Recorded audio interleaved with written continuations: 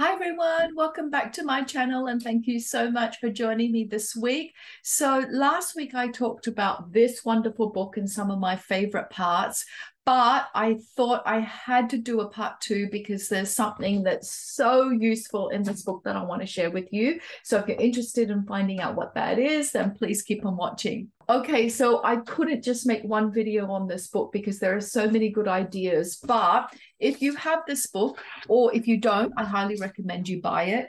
I suggest that you look on page 19.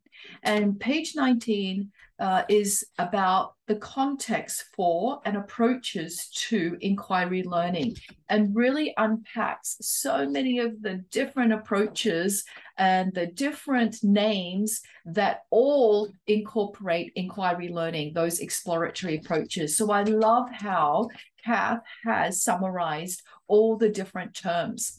So she says there are numerous contexts and approaches that lend themselves to learning through inquiry. While these may differ in emphasis, they all position learning as an act of exploration and construction by the learner than a process of transmission to the learner. And she's got this lovely table, and these are all the different contexts for and approaches to learning inquiry. So that includes, of course, play based learning, which is normally adopted in early years. And I think that it should be adopted actually in secondary school. Uh, she talks about problem based learning and looking at particular context of a problem and then trying to explore uh, that problem she talks about project based learning, which is another context where students are inquiring into a particular scenario.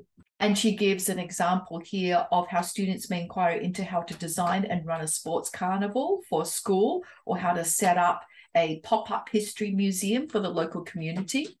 She talks about design thinking, one of my passions. And design thinking is a beautifully inquiry based learning process, which is iterative and which can really help students to build creative confidence and, and get used to navigating ambiguity. Service learning um, is another example of inquiry. Philosophy for children, the three act math lessons, place-based learning, which is an approach in which the local natural and built environments are used as the context for investigation. She talks about phenomenon based learning, which is from Finland. And that's an approach that emphasizes the role of the current real world events, local and global, as the starting point for the unit of inquiry. She then talks about units of inquiry and how these are organized under an essential question and enduring conceptual understandings. And she talks about the units of inquiry, which are organized under essential questions or enduring conceptual understandings. And units of inquiry often bring together several disciplines as students work through a cycle of inquiry over time. So it's either transdisciplinary or interdisciplinary.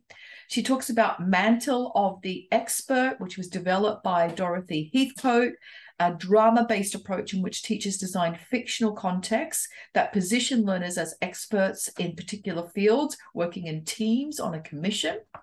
She talks about challenge based learning, and this is similar to project or problem based learning developed by Apple. With an emphasis on using technologies to investigate and share learning. And she includes STEAM or STEM projects and these are challenges designed to have learners solve problems and design solutions that integrate science, technology, arts, engineering, and maths. Very important that it's STEAM and we include the arts.